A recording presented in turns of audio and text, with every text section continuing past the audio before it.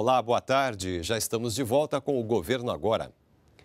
A Advocacia Geral da União confirmou agora há pouco que conseguiu liberação da divulgação dos resultados do SISU e das inscrições do ProUni junto ao Superior Tribunal de Justiça. Vale lembrar que a AGU recorreu ao STJ esta semana para manter o calendário de divulgação do Sistema de Seleção Unificada. Mais informações sobre a decisão do STJ ao longo da nossa programação.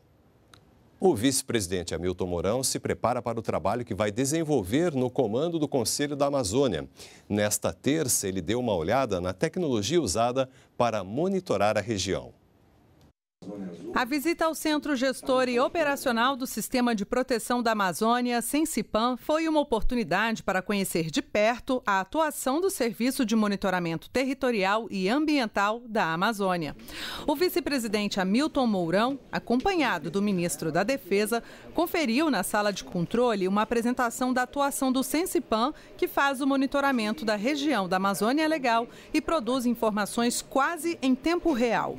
Trabalho que será aliado aliado ao do vice-presidente que recebeu a missão de comandar o Conselho da Amazônia. E o presidente Jair Bolsonaro se uniu ao vice-presidente e ao ministro da Defesa para tratar do Conselho da Amazônia.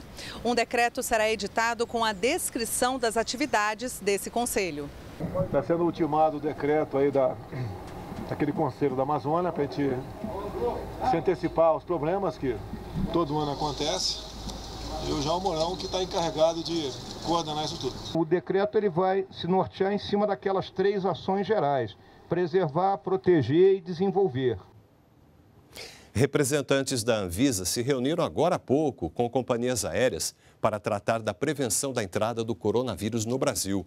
O repórter Maurício de Almeida acompanhou tudo por lá e tem as informações ao vivo para a gente. Oi, Maurício, boa tarde para você.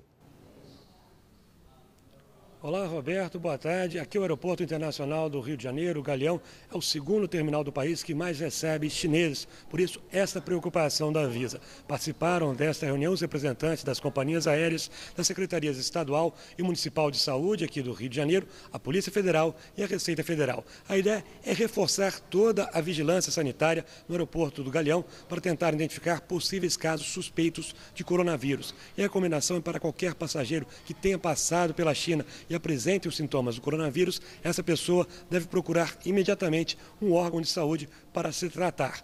A Anvisa pretende reforçar essa segurança em todos os aeroportos do país. Roberto. Tá ótimo, Maurício. Obrigado pelas informações. Boa tarde para você. E nós ficamos por aqui. Nos vemos na próxima edição. Até lá.